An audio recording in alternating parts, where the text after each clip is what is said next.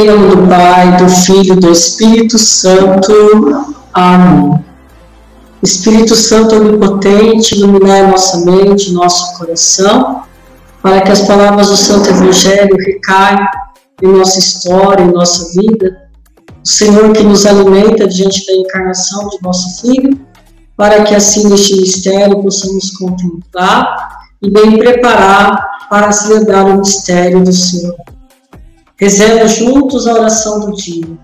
Senhor, Deus, preparai os nossos corações com a força da vossa graça, para que ao chegar o Cristo, vosso Filho, nos encontre dignos do banquete da vida eterna. Ele mesmo nos sirva o alimento celeste. Por nosso Senhor Jesus Cristo, vosso Filho, na unidade do Espírito Santo. Amém. Mais um dia com a palavra de Deus, meus queridos irmãos, nos alimentando dessa palavra.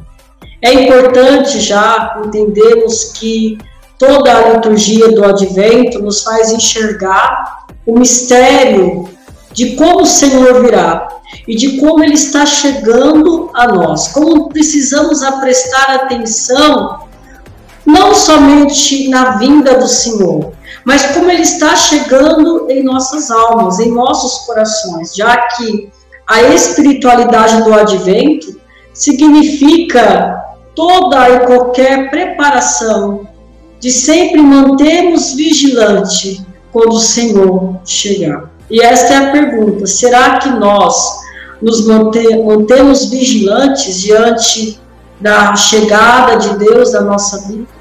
Será que nós prestamos atenção quando a Sua presença está entre nós? Ou será que ainda nós é, nos questionamos aonde Ele está? Quando eu preciso, quando eu rezo, quando eu necessito. A questão não é a ausência de Deus, a questão é a ausência da nossa visão a Ele, de como nós percebemos. Então, nós precisamos aprender a trabalhar neste tempo do advento a nossa percepção espiritual e deixar que esta vivência espiritual também purifique a nossa percepção humana. Se nós ficarmos apenas na percepção humana, nós ficaremos no vazio. Nós vamos experimentar, nós vamos sentir o vazio, vamos sentir a ausência. Mas se partirmos do espiritual para iluminar a nossa impotência ou a nossa ausência, nós vamos enxergar quantas visitas e quantas chegadas que Deus teve ou fez em nossa vida. Por isso que a liturgia desse dia, tirado do Evangelho de Mateus, capítulo 15, versículos de 29 a 37, quer nos mostrar realmente o Senhor que veio ao nosso encontro para nos alimentar. Vendo aquela multidão, vendo aqueles que estavam coxos, aleijados, que estavam totalmente doentes, que estavam prostrados, que estavam marginalizados, que estavam com fome, o Senhor vem para estes, por isso que a chegada de Jesus é sinal de esperança, nos completa, completa aquilo que nos manca. E se nós nos sentimos mancados, se nós nos sentimos insuficientes, a chegada de Deus será sempre sinal de presença e de fortalecimento a nós. E a primeira realidade que Jesus, ele ao fazer o milagre da multiplicação dos pães, ele vê a multidão, ele enxerga, ele tem compaixão. Aqui nós encontramos o rosto humano de Deus, o rosto misericordioso que nos alimenta, senta com a multidão, quer dizer, ele partilha, o verbo sentar significa ele abaixa até a nossa, a nossa pobreza, ele compreende o que nós somos, ele não tem medo do nosso, da nossa pobreza, esse, esse verbo sentar significa, eu quero ser um com vocês, é o mistério da encarnação. Então, quando nós contemplamos isso, nós enxergamos que todo qualquer providência, todo qualquer alimento que Deus nos dá é Ele mesmo. Ele é a nossa providência. É Ele que nos completa. É Ele que descendo até nós nos sustenta, nos apoia.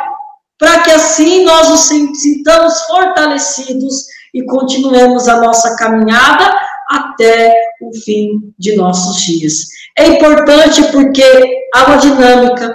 O Senhor vem até nós para nos preparar para a sua vinda definitiva, porque assim quando ele nos encontrarmos, nós teremos a alegria, a felicidade completa, melhor dizendo, para alcançarmos a sua glória. Não existe nenhuma glória alcançada se não for, meus irmãos, iniciada pelo processo da misericórdia do Senhor. É interessante aqui o número, né, de quantos que alimentaram, né? Então vamos entender que Jesus, ao perguntar para a multidão, né, ali, vendo a multidão, perguntando, né, da fome, né, interrogando aos discípulos quantos pães tendes, o número é sete. Sete significa o número da perfeição nas Sagradas Escrituras. O Senhor nos alimenta de uma forma perfeita. O Senhor nos alimenta, a sua providência já nos completa por inteiro. Para que ser feliz fora de Deus, se Deus me completa? Por isso que a vinda de Deus nos completa. Se nós acolhemos esta vinda, será completa em nossa vida. Não precisaremos mais de nada que possa nos alimentar. Basta que eu acolha a presença de Deus. O Senhor me alimentou com sete pães e sete peixes, para mostrar que o alimento dele é perfeito. Me completa, me sacia de uma forma perfeita, que eu não preciso mais de nada, porque a Deus eu tenho tudo. A Deus eu tenho tudo. Por isso que nós temos os sete sacramentos da igreja, que são sete instrumentos, sete sinais eficazes da graça de Deus, que nos sustentam, que nos fortalece. Eu quero ser um cristão verdadeiro, eu quero ser um cristão capaz de crescer, alimenta-se dos sacramentos. Eu quero ser um cristão santo que vive a graça santificante pelo batismo. Alimenta-se dos dons do Espírito Santo.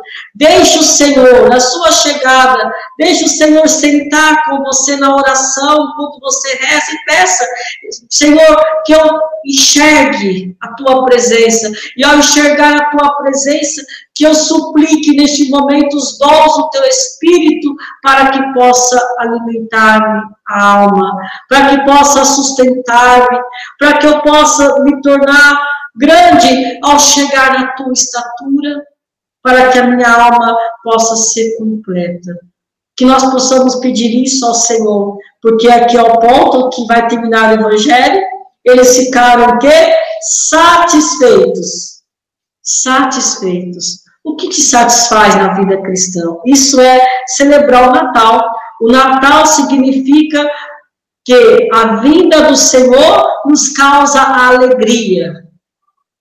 Será que a vinda do Senhor me causa alegria? O que eu espero mais de Deus? A questão não é o que eu espero mais de Deus, o que eu devo esperar mais de mim para que eu possa saciar-me de Deus. Deus quer me saciar, mas será que eu sento com Ele? Será que eu busco? Será que eu me deixo ser tocado por Ele? Será que eu permito que Ele entre no meu deserto para que eu possa saciar deste banquete? No entanto, o banquete, meus irmãos da vida, o banquete espiritual é a presença de Deus. Se temos Deus, temos o banquete, seja em nossa família, em nossa vida, em nossa vida de trabalho, pois tendo o banquete, que é a presença do próprio Deus, a nossa vida será sempre uma vida de satisfação. Satisfação significa completa, satisfação significa alegria, e satisfação significa um homem em pé, que é sinal da glória de Deus. Louvado seja o nosso Senhor Jesus Cristo, para sempre seja louvado. Em nome do Pai, do Filho, do Espírito Santo. Amém.